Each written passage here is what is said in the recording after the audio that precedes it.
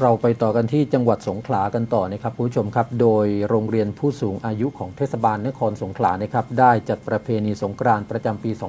2565 นะครับภายใต้การเรียนการสอนในรายวิชาประเพณีวัฒนธรรมท้องถิ่น และด้วยการส่งน้ำและพระแล้วก็รดน้ำขอพรผู้สูงอายุครับ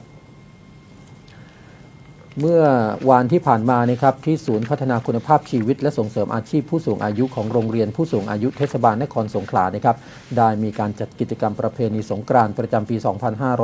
2565 ภายใต้การเรียนการสอนรายวิชาประเพณีวัฒนธรรมท้องถิ่น ด้วยการส่งน้ำพระและรดน้ำขอพรผู้สูงอายุ โดยมีนายอัมพลทันปาโลรองนายกเทศมนตรีนครสงขลานะครับเป็นประธานในพิธีทางนี้ก็ได้มีการจัดกิจกรรมเป็นไปตามมาตรการป้องกัน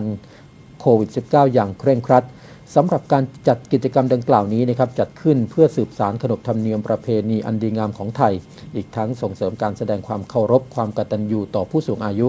และตระหนักถึงความสำคัญในการร่วมสืบสารขนบธรรมเนียมประเพณี ของให้อยู่